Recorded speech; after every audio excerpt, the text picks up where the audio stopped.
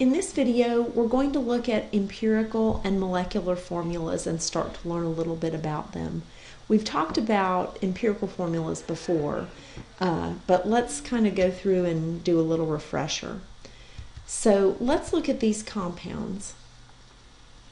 You notice that they all have different formulas, but you may notice some things in common. We'll talk about those in a minute. So they all have what are called different molecular formulas. The molecular formula is the formula that tells you how many of each type of atom are in a molecule. So you can see that different numbers of carbons and hydrogens are in those particular compounds. But when you look at those and look at the similarities, you probably notice that they have the same what we call empirical formula a ratio of carbon to hydrogen of 1 to 2. So they have the same elements and then they're in the same ratio. So they have the same empirical formula, that lowest whole number ratio of atoms in a compound. You probably remember hearing that from the uh, point in the semester when we talked about ionic compounds. So we can't, in an ionic compound, remember that we've got that repeating crystal lattice structure of atoms. We can't really count the number of atoms in a compound when it's ionic. And so we use that empirical formula to tell us the ratio of the atoms that are in that compound. And mathematically, we can figure out the empirical formula fairly easily. The molecular formula is a little bit more of a challenge. So let's take a look at how we can figure out the empirical formula. Usually it's not too bad. What we have to do is take the amounts of each of the element uh, elements in the compound and convert those amounts to moles of those elements. And then we'll divide by the smallest number of moles to get to the simplest ratio. And then we may end up with a, a, fraction or a decimal, so then we'll adjust the ratio to get the lowest whole number ratio. And this is a really simple way to remember. It's called a simple rhyme for a simple formula.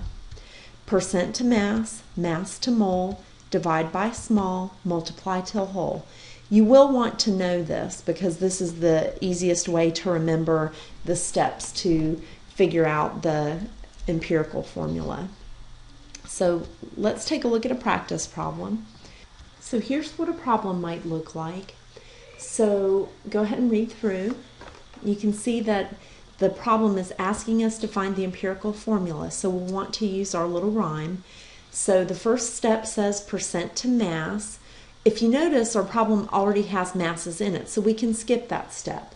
Our second step is mass to moles. So we just want to take the masses of each of these uh, elements and we're going to convert those to moles. So let's go ahead and start with our sodium. We know that we've got 32.38 grams of sodium. And we're going to go ahead and just set up a factor label just like we did in the mole unit. So grams of sodium on the bottom, moles of sodium on top. And we know that one mole of sodium has a molar mass of 22.99 grams. And when I put that in my calculator, I just get one, one 0.408 moles of sodium. And then it, my next step will be to do the same thing for sulfur, so 22.65 grams of sulfur. And then grams of sulfur on the bottom, moles of sulfur on the top, and one mole of sulfur has 32.07 grams. And when I put that in my calculator, I get 0.7063 moles of sulfur. Then my last one's going to be oxygen, and that is 44.9 grams, 99 grams, sorry. And we're going to go ahead and convert that to moles, so grams of oxygen on the bottom, moles of oxygen on the top. One mole of oxygen gives us 16.00 grams of oxygen. And when I calculate that, I get 2.812 moles of oxygen. Now, if you're looking at the conversion for oxygen and saying, now wait a minute, I thought oxygen was diatomic, it should have a mass of 32 grams. Remember that oxygen is diatomic only when it is not in a compound with other elements. Just when it's by itself. And you can see that this is in a compound with sulfur and sodium, so it's not going to be diatomic. It can be a different number of atoms in that compound. So our next step from our rhyme is uh, divide by small. So what we want to do is look for the smallest number of moles, and you can see that the moles of sulfur are the smallest. And we're going to divide each of those by that number. So 1.408 moles of sodium. And we're going to divide by 0.7063 moles of sulfur. And that's going to give us 1.99 moles of Na per mole of sulfur. And if you look, that's almost 2. We can go ahead in this case and round it to 2. And the reason is because we know we're going to have whole numbers. Now we'll we'll talk about when to round and when not to round. So that's going to be 2 moles of Na per mole of S. And then we're going to just do the same thing for our 2.812 moles of oxygen. Just divide by our moles of sulfur.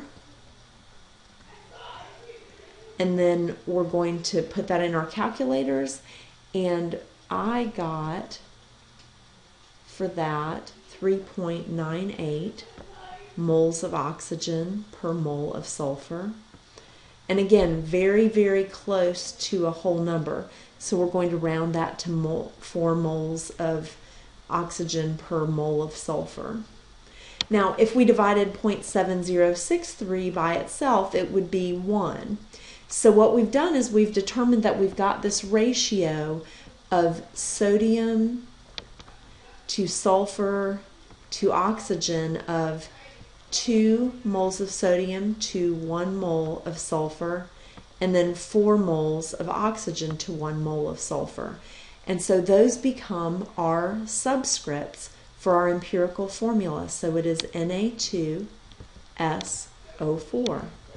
And that's it. That's your answer. So uh, if you have questions about this, we can talk about it in class.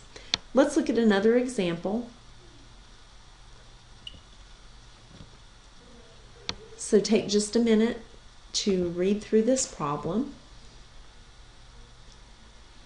All right, so again, we're being asked to find the empirical formula. This one's a little different. Instead of having the masses in the problem, it's got percent. So we're going to have to do that first step. All right, so looking at it gives us the percent of potassium and the percent of chromium. Then it says the remainder is ox uh, uh, the remainder is oxygen. So it doesn't give us the percent of oxygen. So think about how you could find that. I hope that you're thinking, okay, if I just subtract those other two percents from 100, that those will become that those will give me the percent of oxygen. So the percents uh, would have to add up to 100. And if you take 100 and subtract 26.56 and 35.41, your percent of oxygen should be 38.03%. All right, so just a little step in there. So let's talk about what we do with those percents. There's not really a way to convert those directly to moles, but uh, there's not a quick and easy way to make it into masses. If we knew how much of the compound we had, we could figure out the grams of the sample. Now, the nice thing about a problem like this is we can pick out any sample size to use 5,862 grams, whatever. Most people find that the easiest sample size to use is 100 grams. If we have 100 grams of the sample, then 26.56% of 100 grams would be 26.56 grams. So let's assume that we have a 100 gram sample. And I would just write a little reminder in your notes so that you know to do that step. And then those percents just become our masses. So we've got 26.56 grams of potassium. We've got chromium, there are 35.41 grams of chromium. And then for oxygen, it's going to be 38.03 grams. Okay, so that's our percent to mass step. And then our next step is mass to mole. So just like the other problem that we just did. So with mass to moles, we're going to do, uh, we've got grams of potassium, so we need grams of potassium on the bottom, moles of potassium on the top. We know that one mole of potassium has a molar mass of 39.10 grams. And when you put that in your calculator, you get 0.6793 moles of potassium. And I hope you're stopping at each of these steps and doing the calculations yourself to make sure that you understand how to get the numbers that I'm getting. So here we've got grams of chromium. So we're going to put grams of chromium on the bottom to cancel, moles of chromium on the top.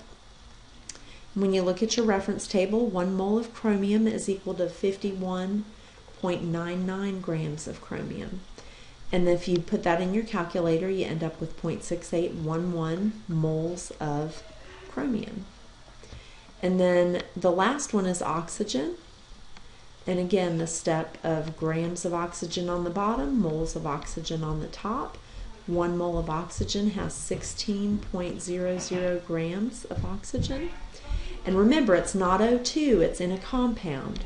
When you put that in your calculator, you should get 2.377 moles of oxygen. All right, so our next step is going to be uh, divide by small. So looking at your formula, we're going to have to figure out uh, which is the smallest, and I think that that's the moles of potassium. So we're going to take our moles of chromium, 0.6811 moles of chromium, and we're going to divide by our moles of potassium, 0.6793. And when you put that in your calculator, that gives you 1.003 moles of chromium per mole of potassium. So that's about 1 mole of chromium per mole of potassium. Then we're going to do the same thing here with our 2.377 moles of oxygen. We're going to divide by 0.6793 moles of potassium. And that gives you 3.499 moles of oxygen per mole of potassium. Now, looking at this, it is tempting to say, oh, we'll just round that but we don't really want to round it up. It needs to be very, very close to a whole number before we can round. We can't round that one to a whole number. It's not a 3 to 1 ratio or a 4 to 1 ratio. It's actually about, a, it's a 3.5 to 1 ratio. So when we have this, the way to think about this is we've got this ratio of K to CR to O of 1 to 1 to 3.5. So think about how you might be able to turn these into whole numbers, all of them. What we want to do is just take a step. We can't uh, use that decimal, so we're going to multiply by 2. So we'll get a ratio of 2 to 2 to 7. And that means that our empirical formula will be K2 CR2O7. Don't forget that little step of writing the empirical formula, okay? Let's take a look at how to know about what to do when you are handed a number that is not extremely close to a whole number. So sometimes you have to adjust. So when you get something that ends in a 0.5, hopefully you see that that's one half. So if we multiply by 2, that turns it into a whole number. If you have something that ends in 0.33 or 0.66, that's one third and two thirds. So think of those decimals as fractions. So we can multiply those by 3. And then if you have 0.25 or 0.75, that's one quarter. 0.75 is three quarters, so we can multiply by 4. And then you can end up with 0.2, 0.4, 0.6, or 0.8. If you notice, those are one fifth, two fifths, three fifths, and four fifths. So you can multiply those by five. And that's why you carry the digits. Because otherwise you can end up with a problem in rounding and you can see that 0.75 and 0.8 are really close to each other. So let's take a look at another problem and see if we can figure this one out. Okay, so isoamyl acetate is a compound of that helps give bananas their unique smell and it gives us the percent. See if you can go ahead and start to set this one up. If you're not sure what to do, go ahead and start watching the video, but if you reach a point where you think you know what to do, give it a try on your own. That's really important when you're watching these videos to make sure you're giving everything a try on your own when I ask you to. All right, so let's go ahead and set this one up. So for carbon, I've got 64.58. Remember that this is percent, so we're going to go percent to mass. And remember that we're going to assume a 100 gram sample. So if we have 100 grams of our isoamyl acetate, it would give us 64.58 grams of carbon. We're going to convert that from grams of carbon to moles of carbon using our molar mass of carbon. So grams on the bottom, moles on the top. One mole is 12.01 grams. And when you put that in your calculator, you should end up with 5.377 moles of oxy I'm sorry, moles of carbon. And then we've got 10.84 moles of hydrogen. Sorry, grams of hydrogen.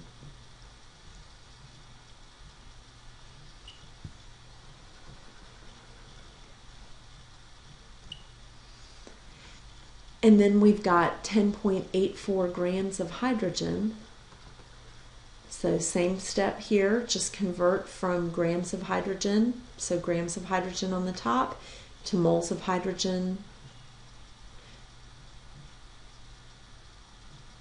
grams of hydrogen on the bottom, moles of hydrogen on top. One mole of hydrogen is equal to 1.008 grams. So if you divide that through, that gives you 10.75 moles of hydrogen. And then our last one is oxygen, so 24.58 grams of oxygen. And then grams of oxygen on the bottom, moles of oxygen on the top, and we know that one mole of oxygen is equal to 16.00 grams. And when we multiply that out in our calculators, we should get 1.5 36 grams of oxygen. So that's our mass to mole step. Then our next step is to divide by small. So we've got 5.377 moles of carbon, and we're going to divide by 1.536 moles, I'm sorry, um, moles of oxygen. Got a little typo there. And that gives us, when we put that in our calculators, 3.500 moles of carbon per mole of oxygen. And then we do the same thing with the hydrogen, so it's 10.75 moles of hydrogen. And that's going to be divided by 1.536 moles of oxygen. And when I put that in my calculator, I get 7.0 0.00 moles of hydrogen per mole of oxygen. And then we're going to use that to set up that ratio. And we've got a ratio of carbon to hydrogen to oxygen of 3.5 to 7 to 1. So uh, that's our multiply till whole step. We've got a number that's not a whole number here. And so we need to multiply those numbers by another number to make sure that they're whole numbers.